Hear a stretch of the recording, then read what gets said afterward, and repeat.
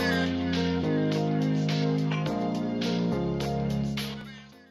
What is up YouTube, XeX Solutions here and today I'm bringing you another video tutorial and this is on how to use your own VPN server on any Android device. So if you haven't already, in the previous video I did show you how to set up your own virtual private network. You own the VPN, you can add as many clients as you want, you can use it on the PC, but what most of you don't already know is that you can actually use this on your smartphone. So in this video I will be showing you how to install it and use it on Android. I don't currently have any iOS devices unfortunately, otherwise I would show you how to do that as well. So you are going to need a few things, obviously you're going to need PuTTY to create the new user. Now obviously you can go ahead and watch the uh, last tutorial that I made and that will show you how to create new users. I will show you quickly in this tutorial as well, but obviously go ahead and watch that first if you haven't already so you know the basics and all of the understanding on how to set up your actual VPN because this is basically a follow-up video. And obviously you'll need a smartphone or tablet or something like that, basically an Android device. So I'm going to be using my Nexus 6P for this tutorial. I will record the screen so you can see this, but first of all we need to add a new client for our VPN. So I did show you this in the last tutorial, but I'm going to quickly go ahead and show you once again. So open PuTTY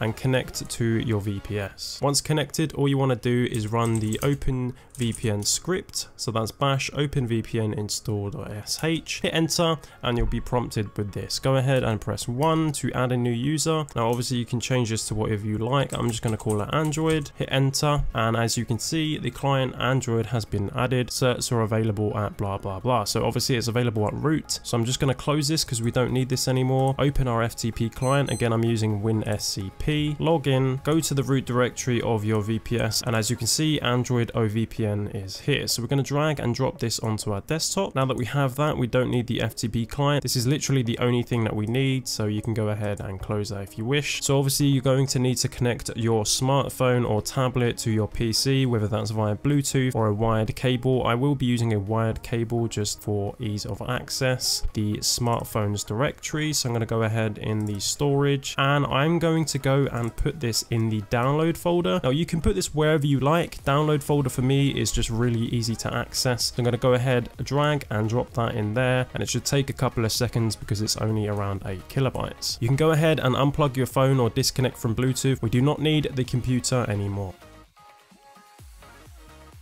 So now I'm over on my smartphone, the first thing you're going to want to do is make sure you're obviously connected to some kind of network. I'm obviously connected to my Wi-Fi here or 4G or wherever you are. Basically just be connected to a network because we're going to need to download OpenVPN. So if you search this in the Play Store, you'll see there it has an icon which is similar to the one on the desktop and it has around 10 million downloads and is made obviously by OpenVPN. So go ahead and make sure you install this one and not any fake APK files. Accept the terms terms of agreements and wait for it to download. Okay guys, so once you've opened the app, it will tell you that it requires a .ovpn profile. Now obviously we have that. So what we can do is click on the three dots in the top right hand corner and click on import. And then we're going to import profile from the SD card because obviously we dragged and put it in a directory. Now my directory is download and as you can see android.ovpn is there. Go ahead and select that and then it will detect all of the config and everything like that. So now we have that in there. All you want to do is hit connect. There will be a connection request and there will be a key on the top of the screen to let you know when it is active.